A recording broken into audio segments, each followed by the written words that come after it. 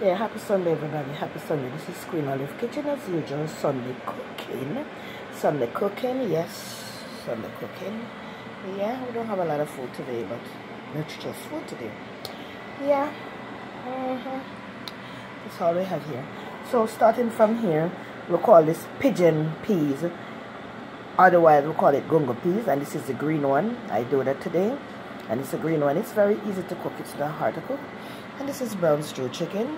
I usually do my brown stew chicken by putting it in the pot but I fry it today and then brown stew it down I season it with powder seasons only.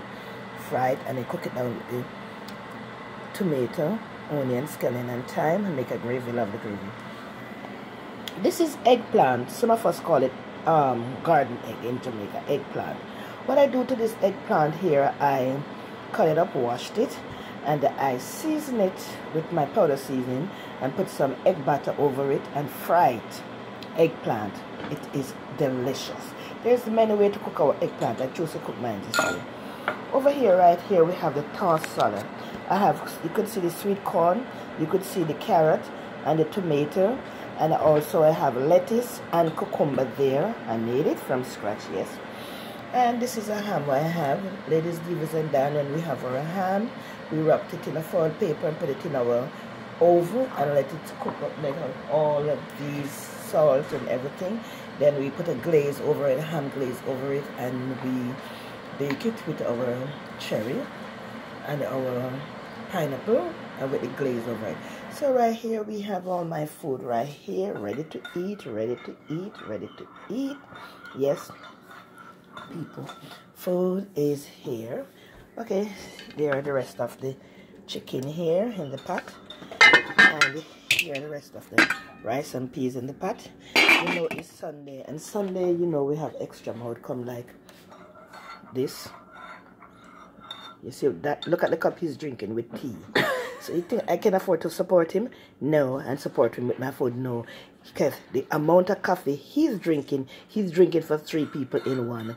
Yes, that's Michael over there.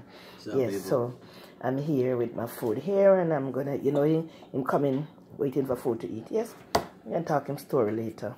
Yes, story, story, and stories yeah, remember our neighbors, remember our neighbors and see that the children eat because you know, some of the kids, they don't want to eat. See that they eat on Sunday if you know they like macaroni and cheese and you know what they want in lasagna, cook that for them, let they get to eat something. They need to put something in them stomach, good food in them stomach, right, instead of all this junk. So I choose to do some tossed salad over there. This is my ham. This is my eggplant, or you call it garden egg, and this is my brown stew chicken, and this is my gungo peas aka um, pigeon peas. That's what I have here. And we are about to wrap it up by doing some eating because I haven't eaten no breakfast for the day. And Mr. Greedy here, mm -mm. see, look at the cup again. look at the cup. Yeah, one love, peace, love joy and happiness. Anybody nearby in the in neighborhood, anybody in the neighborhood who doesn't have no food or who doesn't live nowhere, you could come get some food, but I cannot keep you here to live, but I could give you a good plate of food and give you even extras to carry with you, but I cannot take no more body. My house is full. Queen Olive, cook for my heart and cook with love. One love. Bye-bye.